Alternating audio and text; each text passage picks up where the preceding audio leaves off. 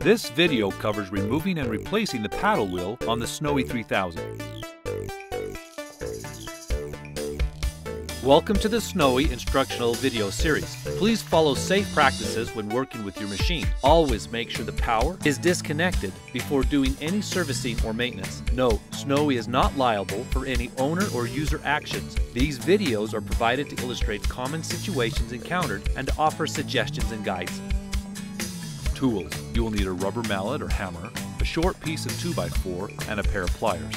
Make sure the machine is unplugged. First, remove the ice hopper by removing the three black thumb wing nuts, one each side and one on the back. Carefully lift the ice hopper off the motor cabinet and place it away from the machine.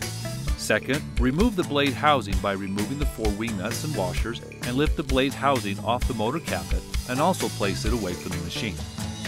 The paddle wheel has a reverse thread, clockwise to remove, counterclockwise to put it on. Notice the two sets of paddles, one set on the outside ring and another thicker set on the inside. Only strike the heavier paddles on the inside ring. Position the paddle wheel and sharply strike the flat edge of one of the heavier paddles on the inside ring with a clockwise blow using the rubber mallet. If this does not work to release the paddle wheel, an alternate method is to place a short piece of 2x4 low and tight against the thicker paddle on the inside ring and strike the wood with a hammer. You should be able to unscrew the paddle wheel from the motor shaft threads by rotating the paddle wheel clockwise until completely unthreaded. Put the new paddle wheel on the motor shaft threads and hand rotate counterclockwise to tighten. Reassemble the blade housing and ice hopper. Make sure the blade housing is centered and not rubbing. See the Snowie 3000 blade change video for details how to position and secure the blade housing for reassembling the machine.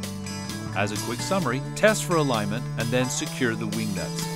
Mount the ice hopper, tighten the three black thumb wing nuts, and you are now ready to shave ice your Snowie 3000.